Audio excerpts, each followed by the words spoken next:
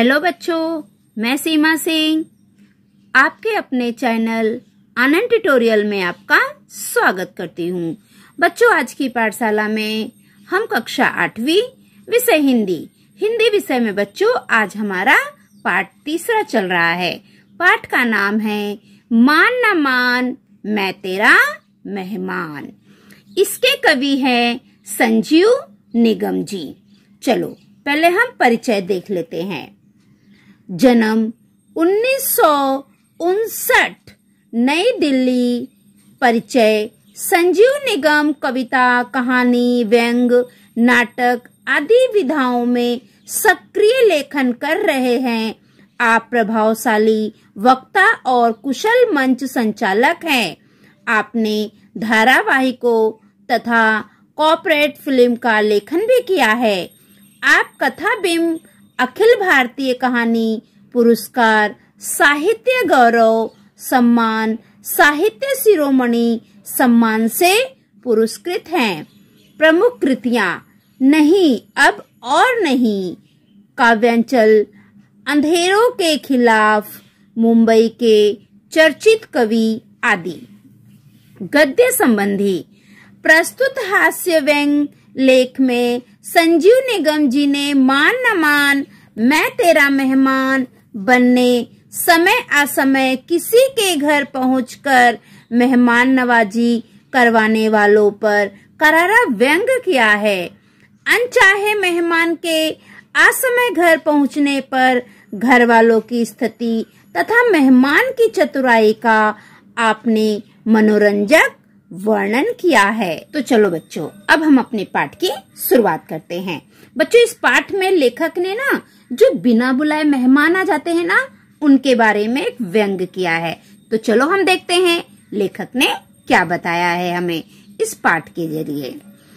इतिहास गवाह है कि सिकंदर महान से लेकर मुझ तक हर महान आदमी के शौक भी महान ही होते हैं।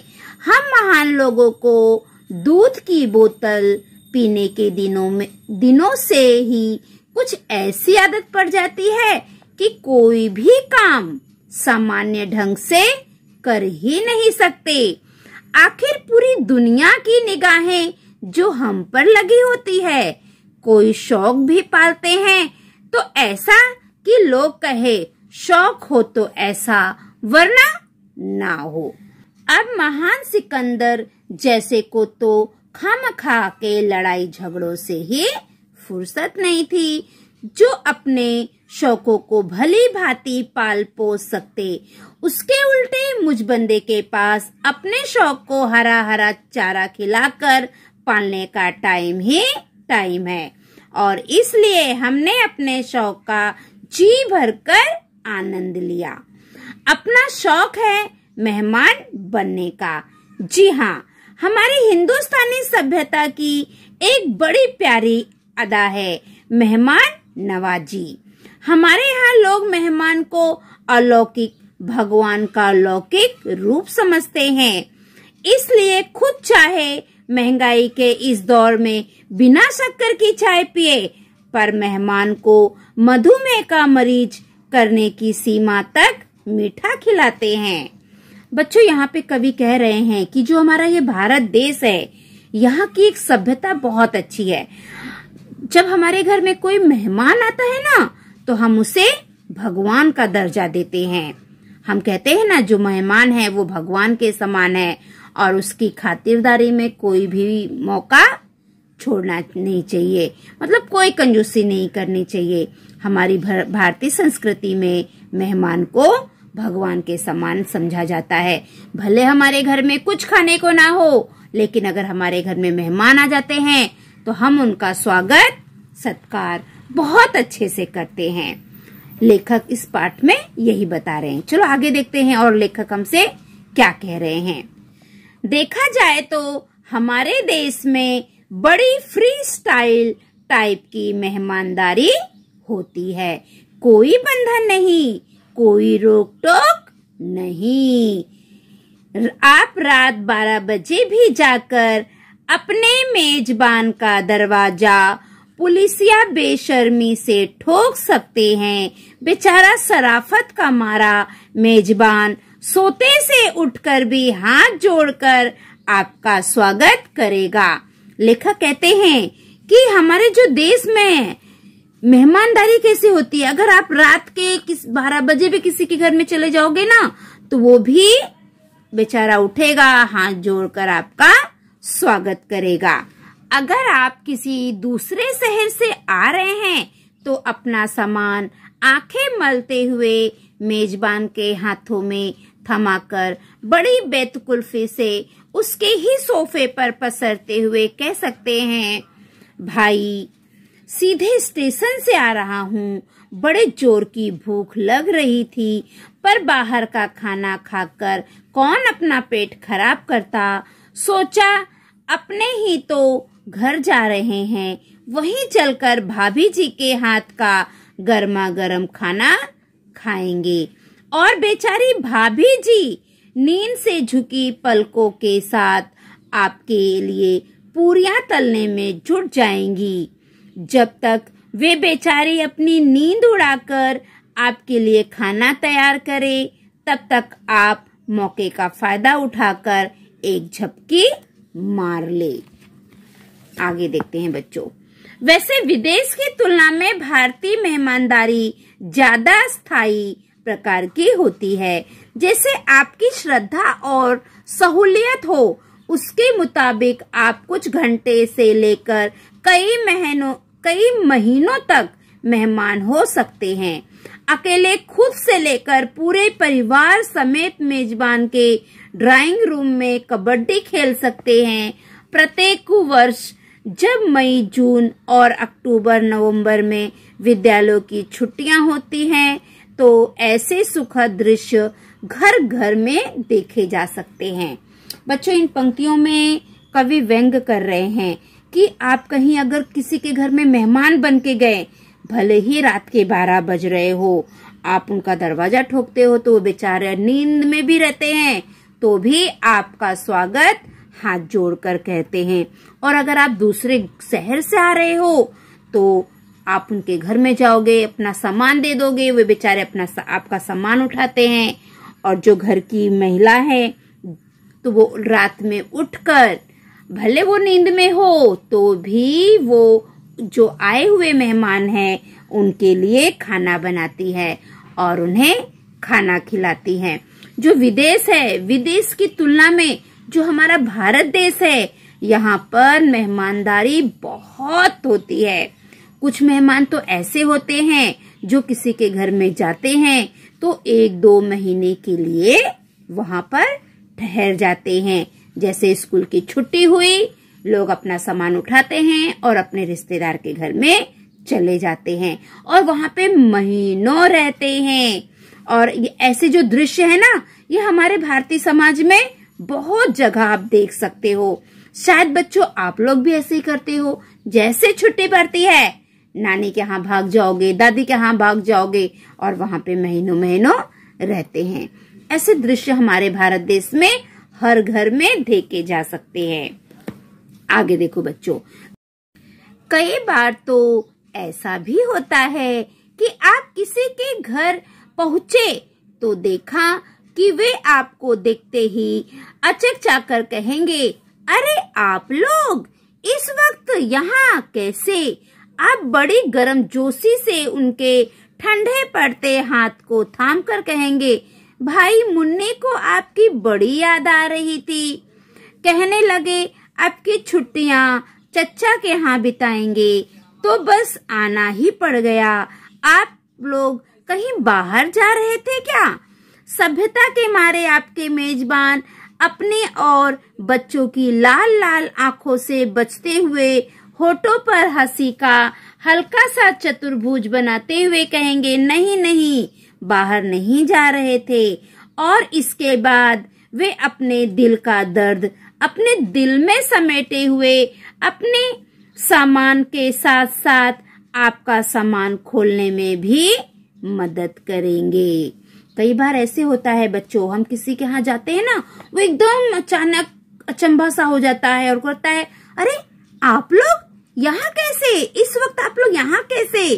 तो फिर जो मेहमान रहता है वो भी बेचारा फिर बहुत संभाल कर बोलता है, अरे, ये जो मेरी बिटिया थी, ये जो मेरी मुन्नी थी, इसको ना चाचा जी की बहुत याद आ रही थी। बोल रही थी, मैं चाचा जी से मिलूँगी, कोई तो वो तो हमने सोचा कि चलो भाई, बच्ची का इतना मन है तो हम चाचा के यहाँ मिलाते हैं। और फिर ये भी पूछेंगे कि आप लोग कहीं जा रहे थे क्या? तो बेचारे जो घर वाले हैं, वो बोलते, नहीं नहीं, हम तो कहीं नहीं जा रहे थे। और फिर जो उनके घर में मेहमान आए हैं, उनका सामान वो अंदर लेकर आते हैं और सामान खोलने में उनकी मदद भी करते हैं।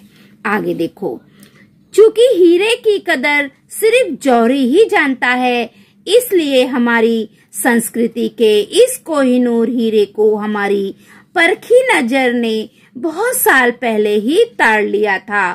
और तभी से हमने ये भीष्म प्रतिज्ञा कर ली थी कि साल के तीन दिनों में से ज़्यादा से ज़्यादा दिन अपने रिश्तेदारों, दोस्तों व जानकारों के मेहमान बनकर उन्हें कृतर्थ करते रहेंगे। हमें एक बात अच्छी है कि हमारे माता पिता दोनों की तरफ़ का कुनबा काफ़ी लंबा चौड़ा है। लेखक कहते हैं, हमें एक बात बहुत अच्छी होती है, जो हमारे माता पिता है, उनके दोनों कुनबा दोनों तरफ़ का कुनबा मतलब परिवार, दोनों तरफ़ का जो परिवार है, वो बहुत लंबा चौड़ा होता है। शादी के बाद उसमें पत्नी के कुनबे का भी समावेश हो जाता है और जब शादी हो जाती है तो शादी के बाद जो पत्नी है, उनके भी कुंबे का, अर्थात उनके भी परिवार का समावेश हो जाता है। इसके अलावा कई चलते फिरते जानकार भी हैं। आपकी दुआ से बंदे ने उन्हें भी अपनी मेहमानदारी से नवाज़ रखा है। अपना तो उसूल इतना सीधा है कि कभी कोई सड़क चलता हुआ हमारी ओर देख भर लेता है तो तुरंत उससे पूछ बैठते हैं, और भाई, कब घर बुला रहे हो?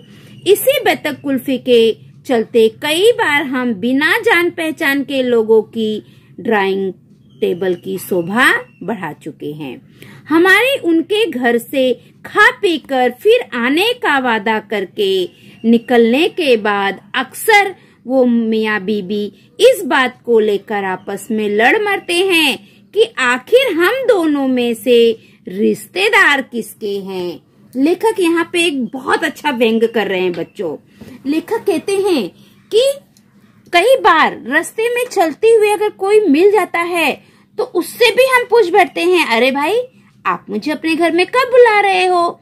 और फिर उसे घर में पहुँच जाते हैं और वो हमारा स्वागत करता है। और जब वो व्यक्ति चला जाता है घर से तो जो उस घर के मियाँ बीबी है मतलब हस्बैंड वाइफ है, पति पत्नी है, वो आपस में इस बात को लेकर इतना झगड़ते हैं कि जो आया था, ये रिश्तेदार किसका है? मतलब उन्हें ये भी नहीं पता होता है कि ये हम दोनों में से किसका रिश्तेदार है। इस बात को लेकर पति पत्नी आपस में झगड़ा करने लगते हैं कि ये जो मेहमान आया था, ये किसका रिश्तेदार है? पति कहता है, वो आपका रिश्तेदार है। और पत्नी कहती है, नहीं, ये आपके यहाँ का रिश्तेदार है।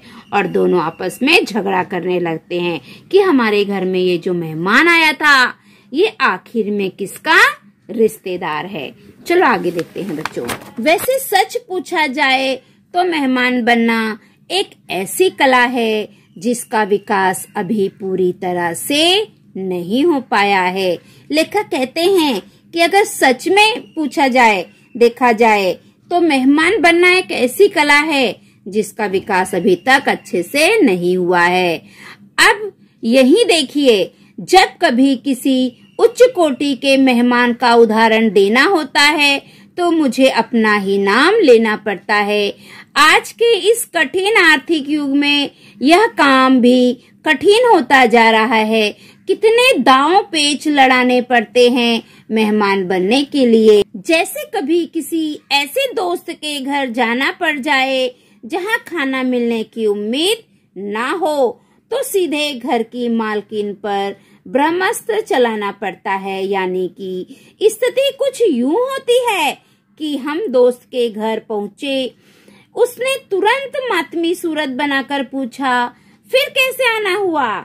जवाब में हमने तुरंत दूसरे कमरे में बैठी, मन ही मन हमें कोसती हुई उनकी श्रीमती जी को लक्ष्य करके कहा, बस क्या बताए यार, उस दिन भाभी जी के हाथ का लाजवाब खाना क्या खाया कि अब किसी और के खाने में स्वाद ही नहीं आता।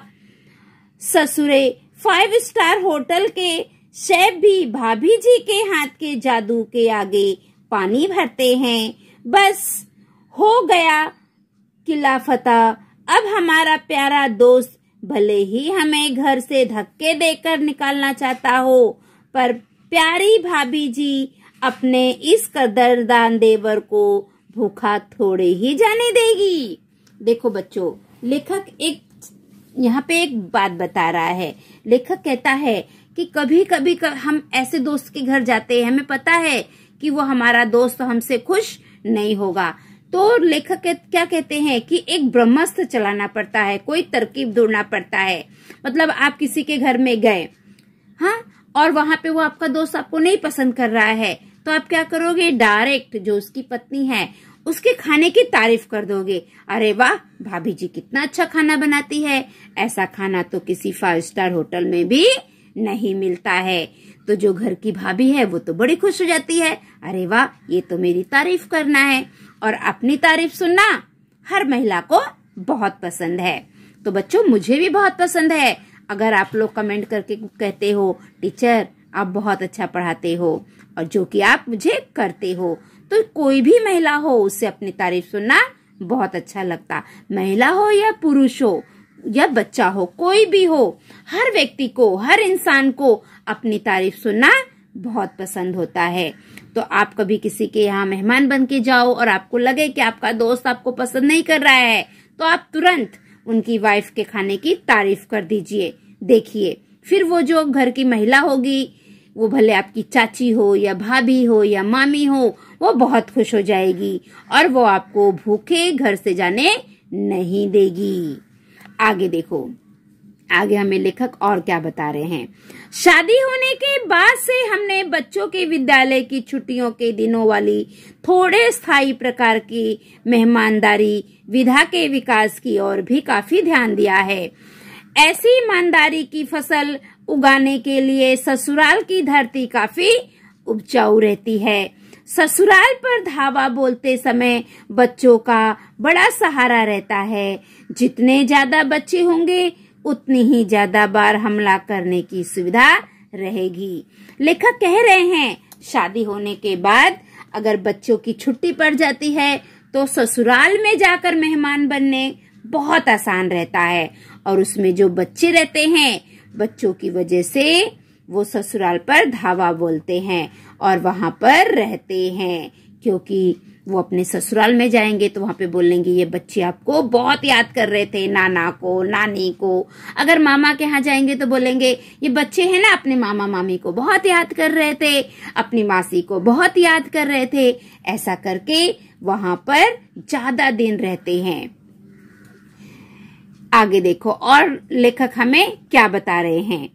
एक साल टुन्नू को अपने नाना की याद आएगी तो दूसरे साल टिन्नी को, तीसरे साल मुन्नी को और ये क्रम इसी प्रकार चलता रहेगा। लेखक क्या कहते हैं? कब वहाँ पे जाके अपने ससुराल में जाके बोलेंगे, इस साल टुन्नू को नानी की बहुत याद आ रही थी। फिर दूसरे साल जाएँगे तो बोलेंगे, इस साल टिन्नी को नानी की बहुत याद आ रही थी। और फिर अगले तीसरे साल जाएँगे तो बोलेंगे, इस साल मुन्नी को अपनी नानी की बहुत याद आ रही थी और इस प्रकार का क्रम चलते रहेगा। पिछली बार तो ऊपरी बच्चों का नंबर खत्म होने पर मुझे अपने छह महीने के बच्चे का सहारा लेना, लेकर कहना पड़ा, इस बार मेरी बार मेरी बुआ जी बुला रही थी, पर क्या बताऊँ? इस छुटके को अपने नाना नानी की इतनी याद आ रही थी कि मजबूरन यहाँ आना पड़ा। लेखक कह रहे हैं कि बहुत लोग ऐसे भी होते हैं। अभी तीन बच्चे तो हो गए बड़े बड़े उनकी बारी तो हो गई, जो घर का सबसे छोटा बच्चा है छह महीने का या चार महीने का। उसका बहाना लेकर कहते हैं कि इस बार तो हमें इसकी बुआ के यहाँ जाना था। लेकिन ये जो छुटका है, इसे अपनी नाना नानी की बहुत याद आ रही थी। इसलिए हमें मजबूर होकर यहाँ पर आना पड़ा। देखो, किसी के यहाँ मेहमान बनना हो तो किस प्रकार बहाने बनाकर लोग जाते हैं।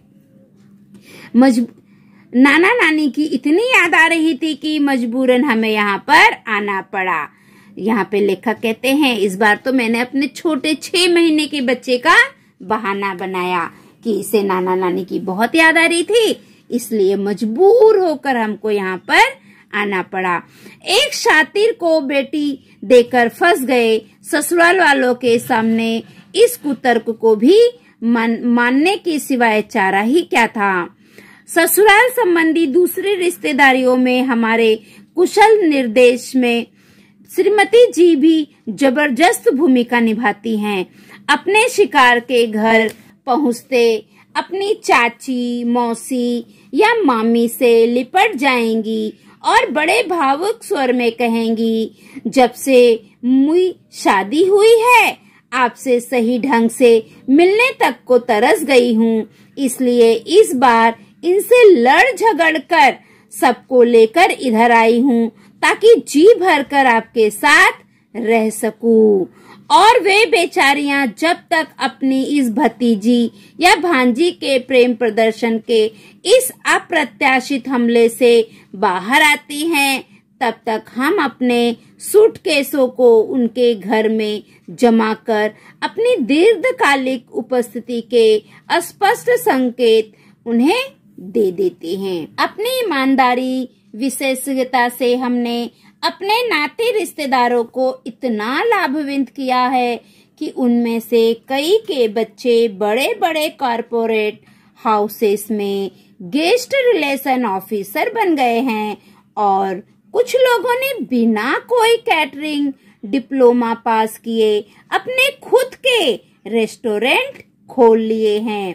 अपना तो छोटा सा देशभक्ति पूर्ण प्रयास यही है कि एक दिन Guinness book of world records में यह छपे की दुनिया में सबसे अधिक मेहमान बनने का रिकॉर्ड भारत के इस लाडले सपूत ने स्थापित किया है।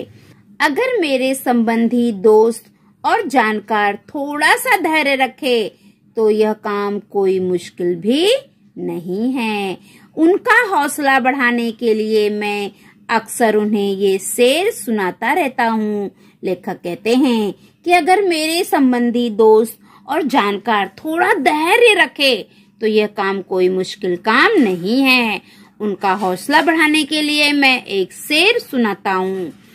शुक्र कर उस खुदा का और मुझ मेहमान का। तेरा खाना खा रहा हूँ, तेरे दस्तर खान पर। शुक्र कर उस खुदा का और उस मेहमान का। तेरा खाना खा रहा हूँ, तेरे दस्तर खान पर। तो बच्चों, इस पाठ में लेखक ने जो हमारे घर में अनचाहे मेहमान आते हैं और किस प्रकार वहाँ पर रुक जाते हैं, उन मेहमानों पर व्यंग किया है। तो बच्चों, ये पाठ यहीं पे समाप्त होता है।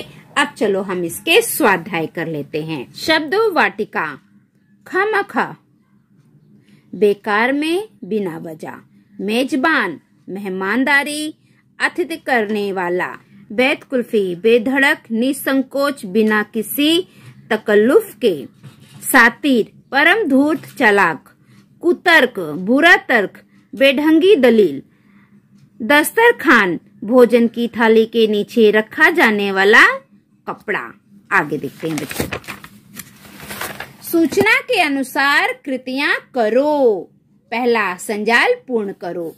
लेखक के बच्चों के नाम। लेखक के चार बच्चे थे, उनका नाम क्या था? पहले बच्चे का नाम था, मैं यहाँ पे लिखती हूँ बच्चों। छुटका। छू, छा लिखो, छा में छोटी हु की मात्रा। छुटका। ठीक है? दूसरे बच्चे का नाम क्या था? टुन्नू। टा में छोटे उ की मात्रा। आधा ना बड़ा ना ना में बड़े उ की मात्रा, टुन्नू और टिन्नी। टिन्नी टा टा में छोटी की मात्रा टी, आधा ना, फिर ना ना में बड़ी की मात्रा नी, टिन्नी और मुन्नी। माँ माँ छोटी उ की मात्रा, आधा ना और नी, ना में बड़ी की मात्रा नी, मुन्नी।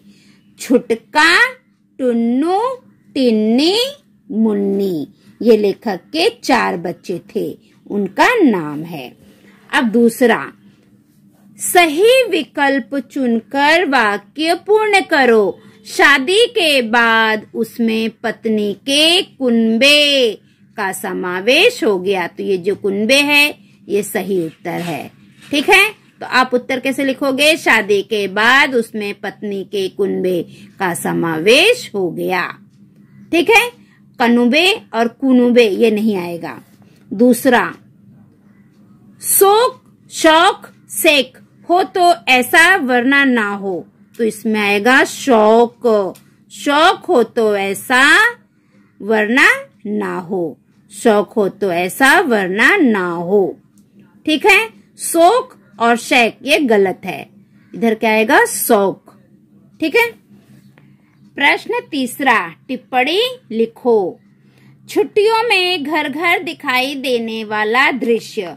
तो इसका उत्तर है बच्चों, पेज नंबर फिफ्टी नाइन पे। सभी बच्चे पेज नंबर फिफ्टी नाइन निकालेंगे। और यहाँ पर उसका उत्तर है। अकेले खुद से लेकर पूरे परिवार समेत मेजबान के ड्राइंग रूम में कबड्डी खेल सकते हैं प्रत्येक वर्ष जब मई, जून और अक्टूबर, नवंबर में विद्यालयों की छुट्टी होती है तो ऐसे सुखद दृश्य घर घर में देखे जा सकते हैं। ये उत्तर है। ठीक है बच्चों, कौन से दृश्य देखे जा सकते हैं?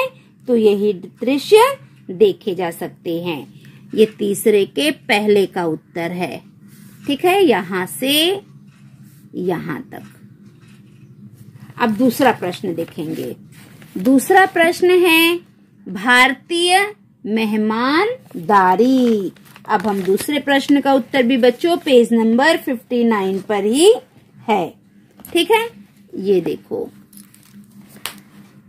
भारतीय मेहमानदारी ज़्यादा स्थायी प्रकार की होती है। जैसे आपकी श्रद्धा और सहूलियत हो, उसके मुताबिक आप कुछ घंटों से लेकर कई महीनों तक मेहमान हो सकते हैं।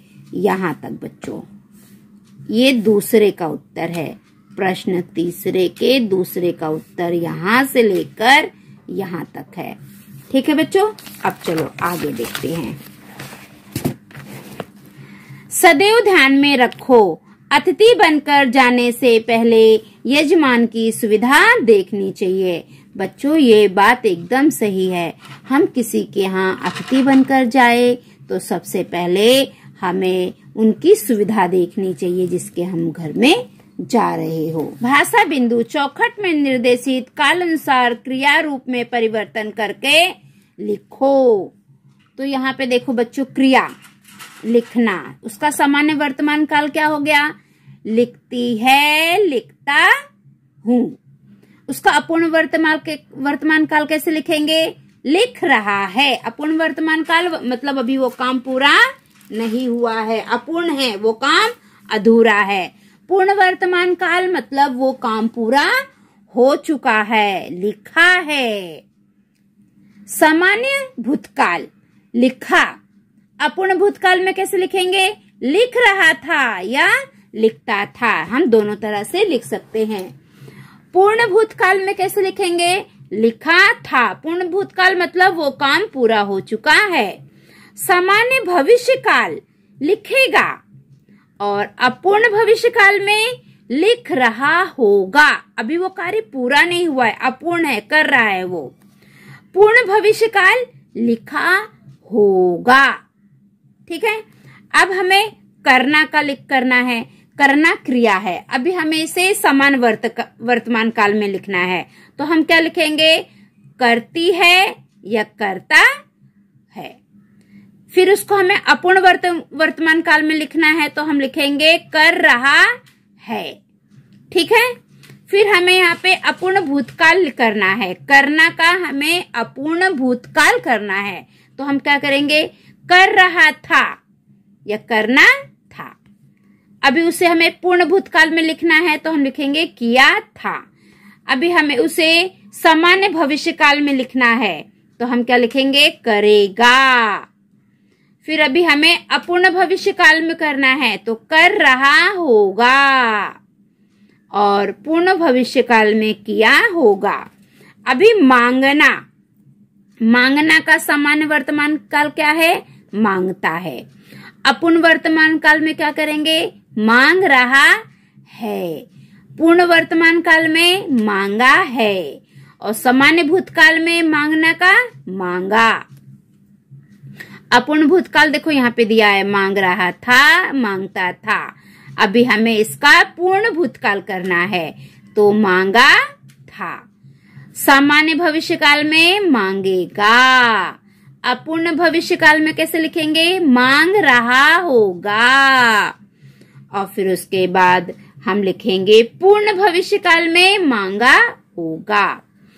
अभी देना अभी देना क्रिया है, उसको हम सामान्य वर्तमान काल में कैसे लिखेंगे? देता है। ठीक है? फिर अपूर्ण वर्तमान काल में दे रहा है। और पूर्ण वर्तमान काल में कैसे लिखेंगे? दिया है। सामान्य भूतकाल में दिया। अपूर्ण भूतकाल में लिखेंगे, दे रहा था या देता था। अब उसको पूर्ण भूतकाल में लिखेंगे, दिया था। सामान्य भूतकाल में सामान्य भविष्य काल में कैसे लिखेंगे, देगा। और अपूर्ण भविष्य काल में दे रहा होगा। अब हम पूर्ण भविष्य काल में कैसे लिखेंगे, दिया होगा, दिया होगा ये पूर्ण भविष्य काल है। ठीक है? अब उसी प्रकार उठाना उठाना क्रिया है। अब इसे, इसका सामान्य वर्तमान काल क्या होगा? उठाता है। अपूर्ण वर्तमान काल उठ रहा है। फिर उसके बाद पूर्ण वर्तमान काल में हमें लिखना है तो उठा है। सामान्य भूतकाल में उठा। अब इसको हमें अपूर्ण भूतकाल में लिखना है। उठा रहा है। उठा रहा है। अपूर्ण वर्तमान काल में कैसे लिखेंगे बच्चों? उठा रहा है। अब इसे हमें पूर्ण भूतकाल में लिखना है। क्या लिखना है? पूर्ण भूतकाल में। तो हम लिखेंगे उठा, था। अभी हमें इसे सामान्य भविष्य काल में लिखना है। तो हम लिखेंगे उठेगा। अब इसे हमें अपूर्ण भविष्य काल में लिखना है। उठा रहा होगा। अब इसे हमें पूर्ण भविष्य काल में लिखना है। तो हम क्या लिखेंगे? उठा होगा। ठीक है बच्चों? सबसे सुंदर अपना देश विषय पर निबंध लिखो। बच्चों, सबसे सुंदर अपना देश इस विषय पर आपको निबंध लिखना है। तो आप लिख लोगे। अगर किसी बच्चे को कुछ समझ में नहीं आ रहा होगा तो आप मुझसे कमेंट करके या टेलीग्राम चैनल पर ज्वाइन होकर आप मुझसे पूछ सकते हो। ठीक है बच्चों? फिर उसके बाद है, मैंने समझा। इस पार्ट से आपने क्या समझा? इस पार्ट से हमें ये समझ में आ रहा है, जो हमारी भारतीय संस्कृति है, यहाँ पर हम मेहमान को भगवान मानते हैं। है ना? छुट्टियों के दिनों में अपने पर्यटन का नियोजन तैयार करो। तो अभी तो हमारी छुट्टी खत्म हो गई है। अब जो गर्मी की छुट्टी आएगी, उसका आप नियोजन तैयार करना। ठीक है बच्चों? तो बच्चों, हमारी जो आज की पाठशाला है, वो यहीं पे समाप्त होती है। अगर आपको मेरी पाठशाला पसंद है तो प्लीज़ मेरे चैनल को लाइक करिए, सब्सक्राइब करिए। और जो घंटी का चित्र है, उसे ऑन कर दीजिए, ताकि मैं जो भी वीडियो बनाऊँ आप सभी बच्चों को वो तुरंत मिले और आप लोग अपनी पढ़ाई अच्छे से कर सको। बच्चों, मैं आपके लिए बहुत मेहनत करती हूँ। तो मैं आशा करती हूँ कि आप मेरे चैनल को सब्सक्राइब कर कर मुझे सपोर्ट करेंगे। Thank you for watching bye bye